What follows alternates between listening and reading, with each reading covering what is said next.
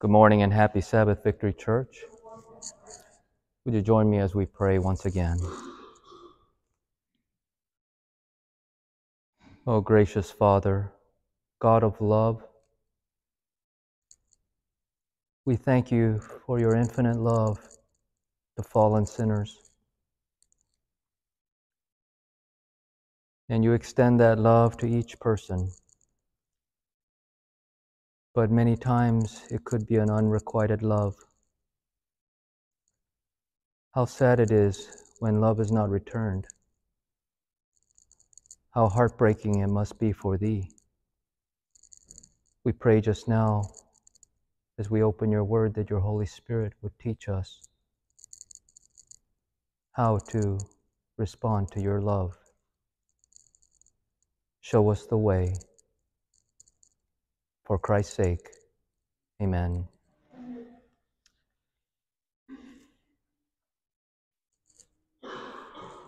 We beseech you, brethren, that ye receive not the grace of God in vain. We're in our Dilemma series. This is the third installment of the Dilemma series. Uh, we looked at uh, either or either sin or peace with God. But the devil says, no, it's both and. You can have, you can have peace with God and still sin. We looked at the second one, both and. Both faith and works. But the devil says, no, it's either or. You pick one or the other. You either have faith or you have works. Peace and faith and today we're going to ask the question what to do with love, which is what to do with God's love. In asking this question, it appears that there are four general ways that we can receive God's grace. But only one of them is the right way. We need to know the devil's strategies because really the Bible is a story about the unrequited love of God. Any of the other three ways that we can receive the love of God will leave us as much without a Savior on Judgment Day as the infidel. And so, what are the ways that we might receive God's grace in vain? Apostle Paul says here in 2 Corinthians 6 We beseech you not to receive the grace of God in vain. Now, the good students, they'll see that on your bulletin, if you don't have a piece of paper, on your bulletin, there's space there to write down notes. And so you will write down the four different ways we can receive God's grace, only one of which is the correct way. The first one occurred to me that we could receive God's grace by muse, musing on it. Think about it. Head knowledge without heart change. On the Sermon on the Mount, Jesus was wrapping up that, that discourse, and in verse 26 of chapter 7, he says, But everyone who hears these sayings of mine and does not do them will be like a foolish man who built his house on the sand. Could the hearing of God's grace be engaging? Well, yes. Could it be even exciting, maybe? Yes. In fact, they, they sat there on the Sermon on the Mount, that, on that mount, spellbound. And at the end, what does the Bible summarize that the reaction of the people was? They were astonished because he spoke to them as one having authority, right? And not as the scribes. Oh, the, the grace of God being preached. It was engaging, it was exciting. And yet, what percent of them went beyond just hearing on that mount? They thought about it, received just into the thoughts, but not deep enough to make any kind of a change. Comprehension without application is like studying about nutrition and food chemistry, but neglecting or failing to take in good, nutritious food. Oh, I know all about it. In fact, uh, when I was in training, I was on a uh, colonoscopy rotation, GI clinic rotation, and we had learned in lectures that uh, for the colon's health, it's good to eat a high fiber diet. It, helps keep the colon healthy. Uh, at lunchtime, the students ate by themselves, but uh, the, the attending doctor and the residents, they were eating by themselves. And I was, I observed what they were eating, and they had gotten a, a Happy Meal from somewhere. Zero fiber, except a few little shreds of lettuce. They had a lot of knowledge. They were lecturing to us. Very little application. The Bible predicts the time will come when Christians will demand speakers who entertain, who tickle the itching ears. And they will, it doesn't say that that's all they want. It says that they will be intolerant of sound doctrine. Two things don't give us any sound doctrine and tickle my itching ears. And uh, if if that uh, writer was prophesying about the future, maybe near the end of time,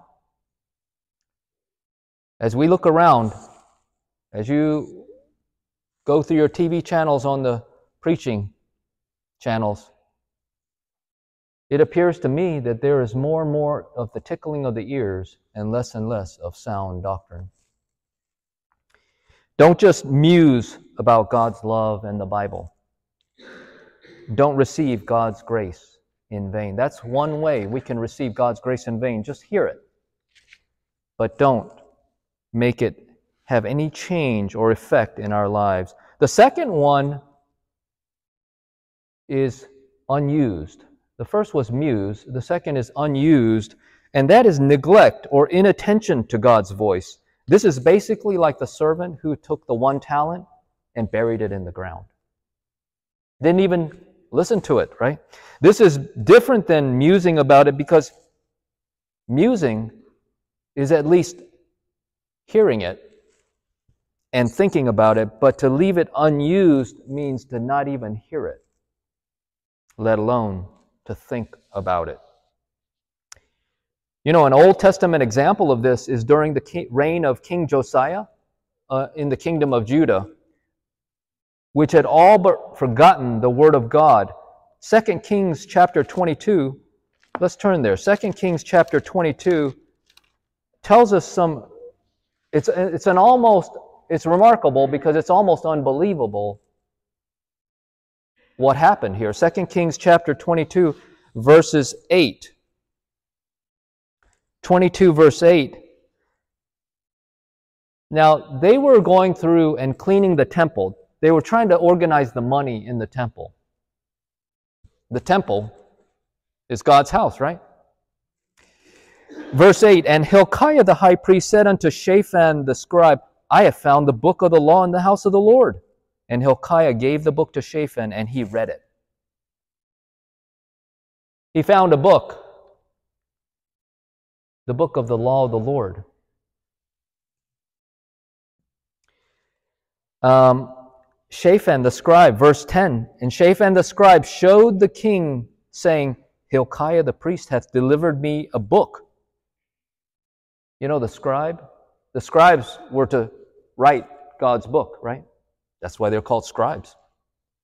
What does he call it? He doesn't call it the book of the law. He says, Hey, I found a book. doesn't even call it the book of the Lord. And Shaphan read it before the king. And we know that the king's reaction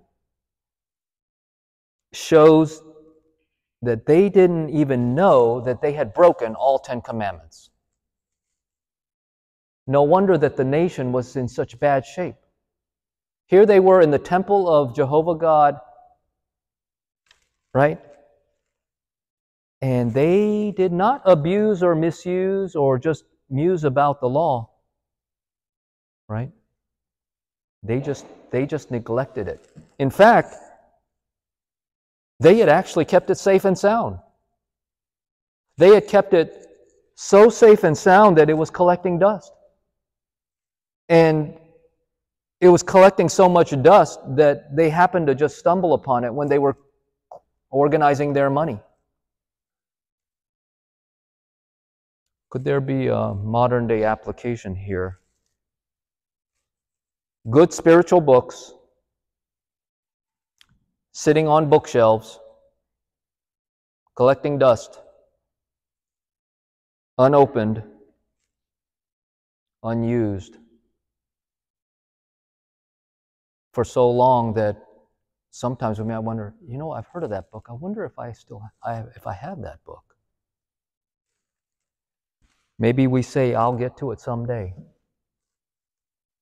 It's been said that the man who does not read has no advantage over the man who cannot read.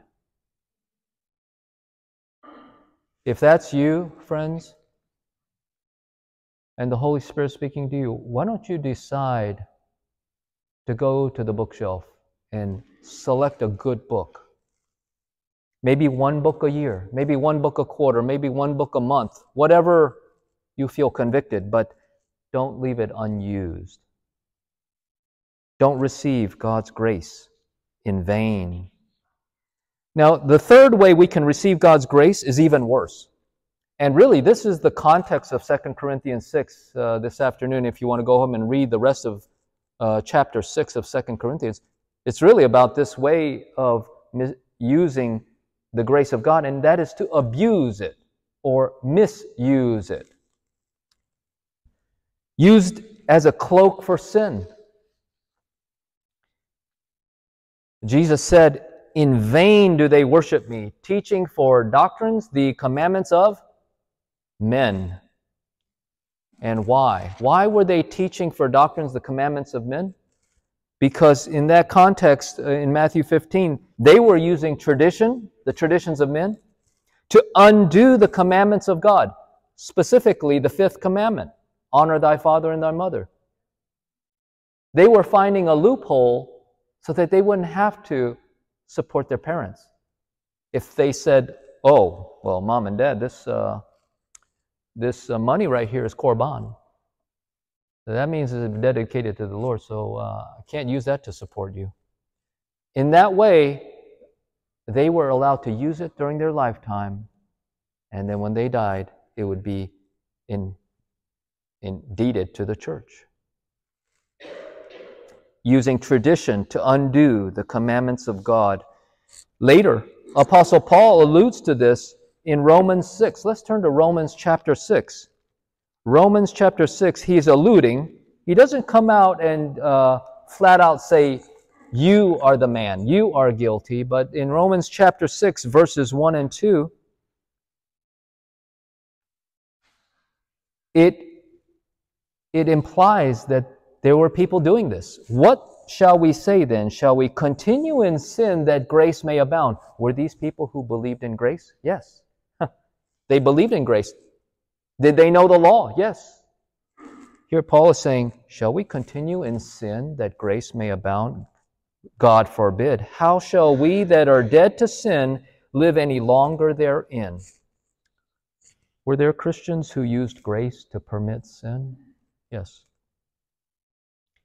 The book of Jude is even more graphic. Let's turn to Jude. That's the next to the last book of the Bible, Jude, just before Revelation.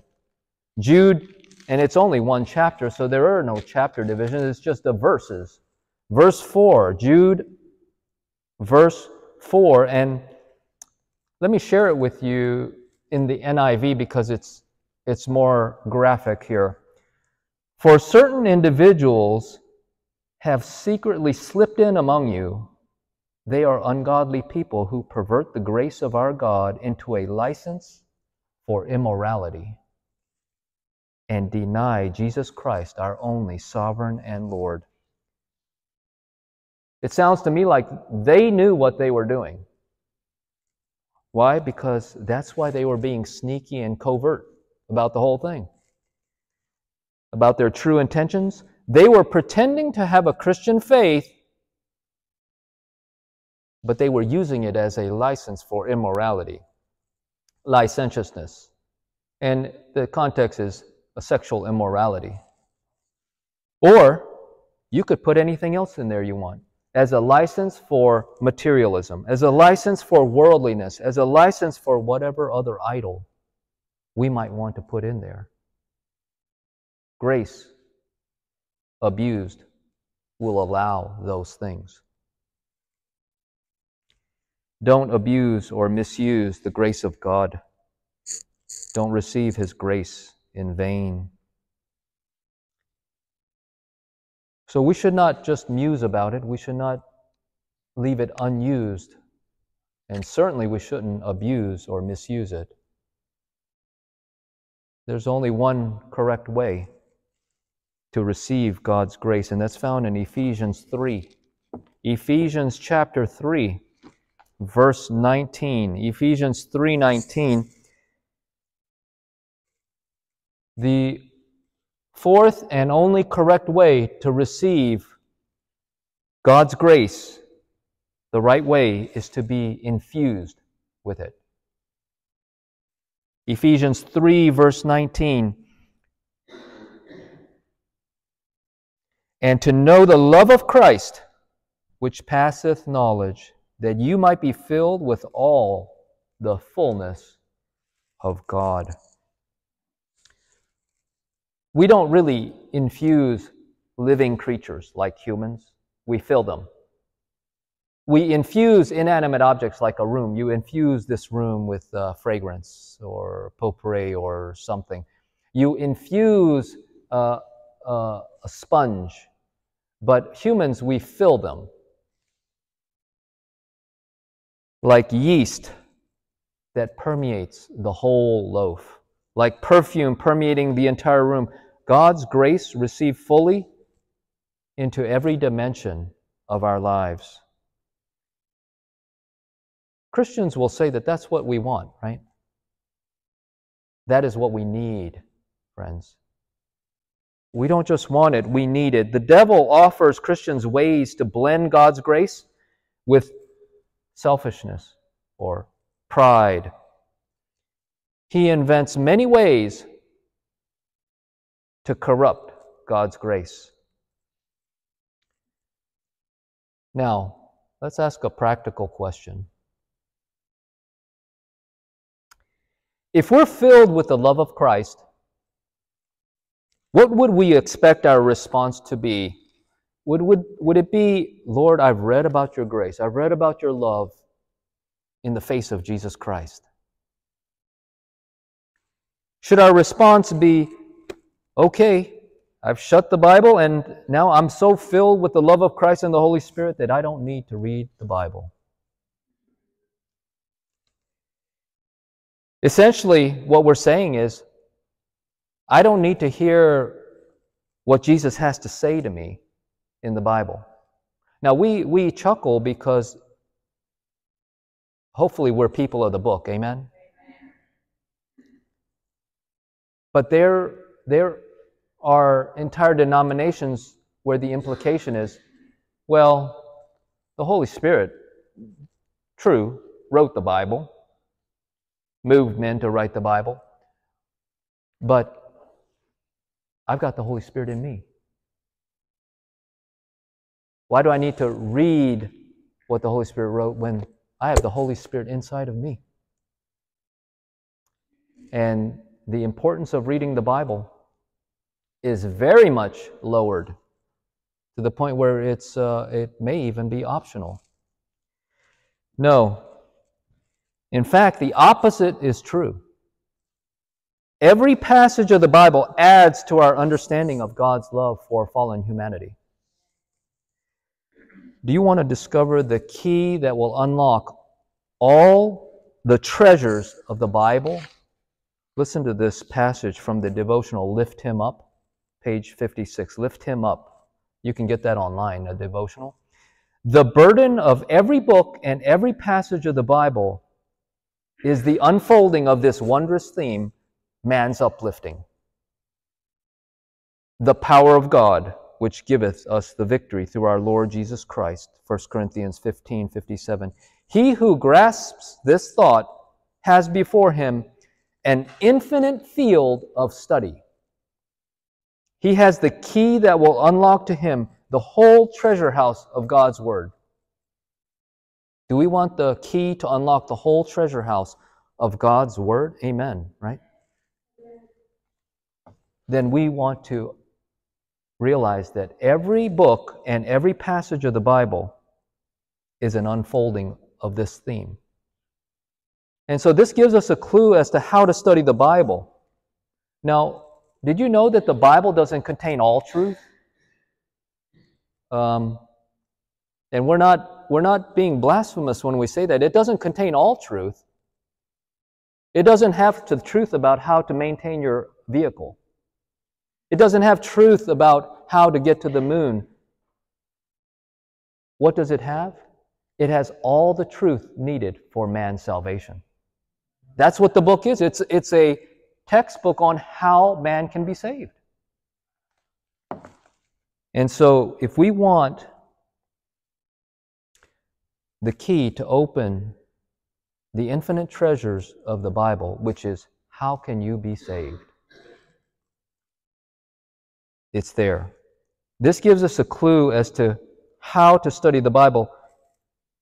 What we do is in each study, ask yourself, what does this passage reveal about God's grace, about His plan to save sinners?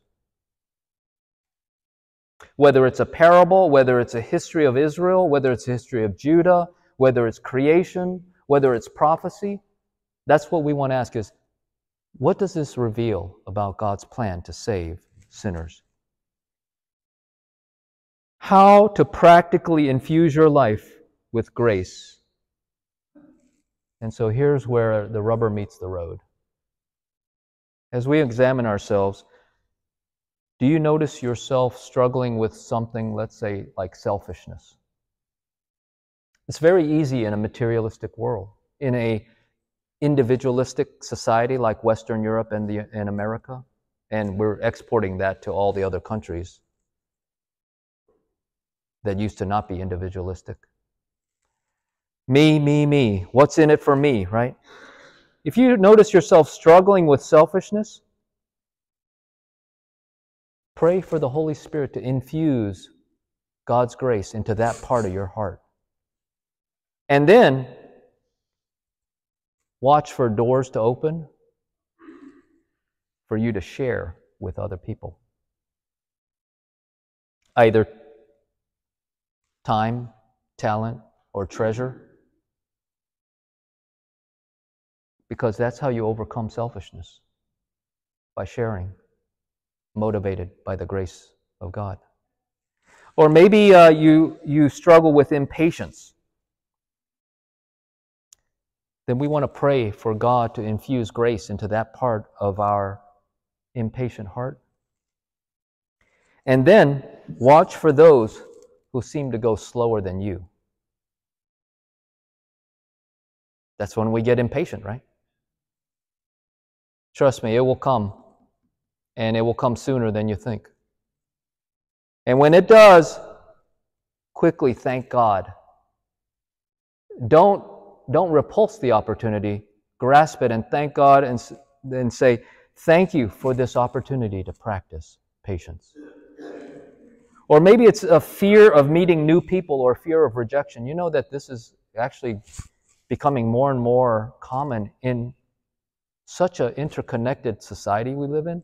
Psychiatrists say that there is more and more loneliness and, in, and ineptitude on how to relate to people, especially in the younger generation don't know how to sit down with people and actually have a conversation unless they're exactly the same age and like exactly the same clothes and have the exact same interests as them. They don't know how to relate. So if we have a fear of meeting new people or a fear of rejection, pray for an infusion of grace into that part of your fearful heart. And then watch for doors to open for you to practice stepping out and interacting with others as one who desires their good. That's how we want all of our interactions to be, as one who desires their good. That's what's going to open the opportunities to share God's truth with them. And these are only examples, friends. I'm not, I'm not your Holy Spirit, and you're not my Holy Spirit. Amen? But if we pray for guidance, the Holy Spirit will show us the areas of our lives that more, need more of the infusion of God's grace into those areas. And thank God, it won't just stop there. He will provide opportunities to develop our characters into that balanced image of Christ. What do we call that? We call that Christ character, the perfectly balanced character of Christ. Jesus promised this through the Spirit. He said the Spirit will lead us into all truth, right? And so don't receive God's love in vain. That's what the devil wants you to do. And so he's made multiple ways that you can receive God's grace in vain.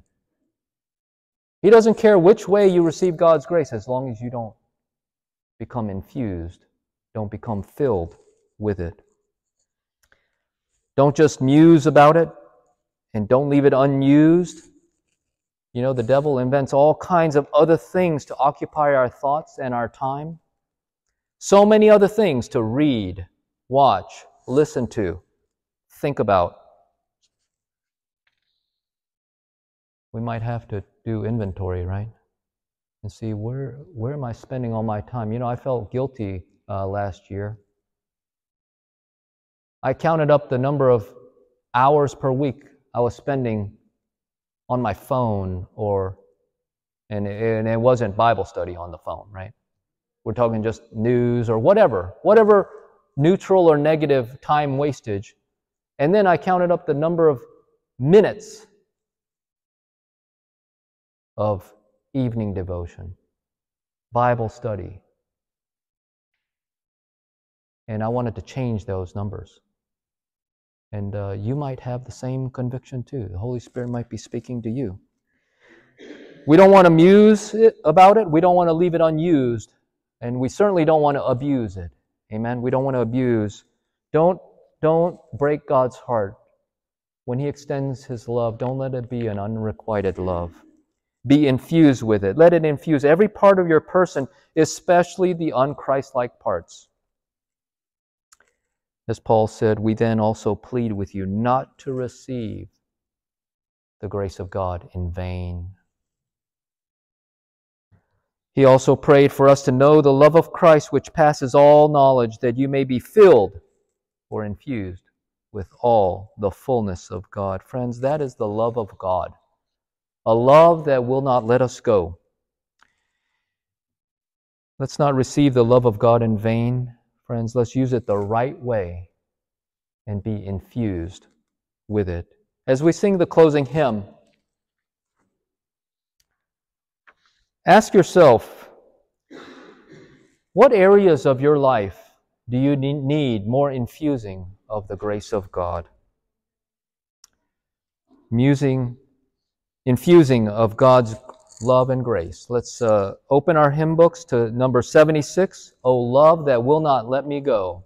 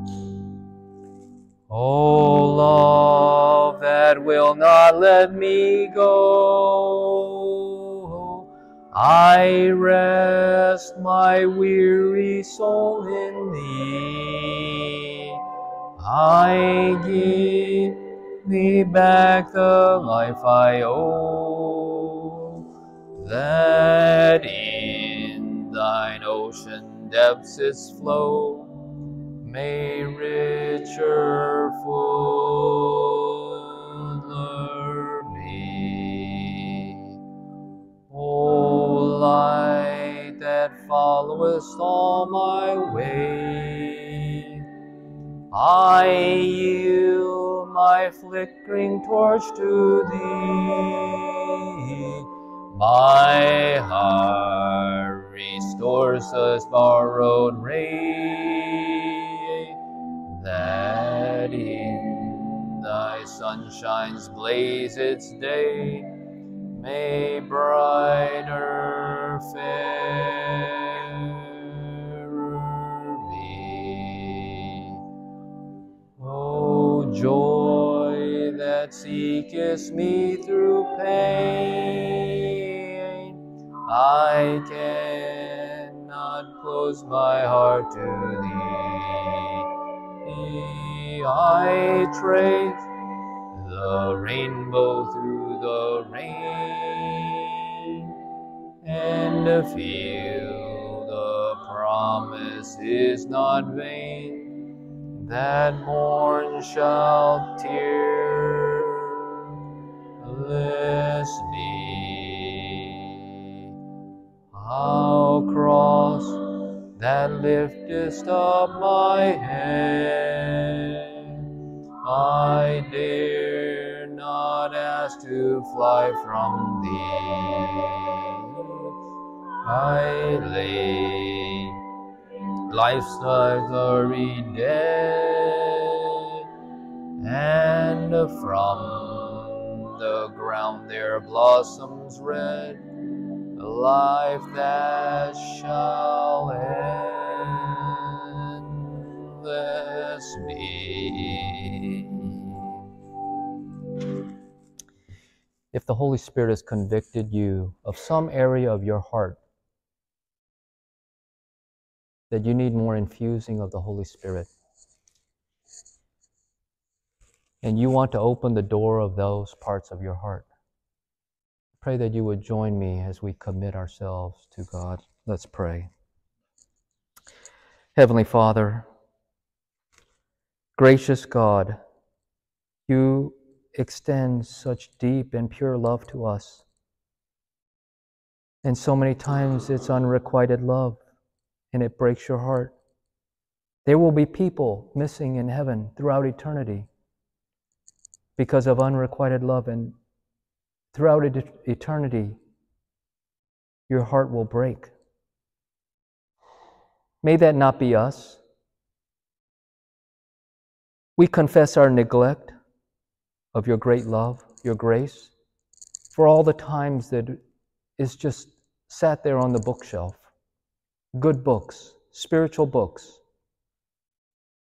your love letters to us, showing us how you want to save us, collecting dust.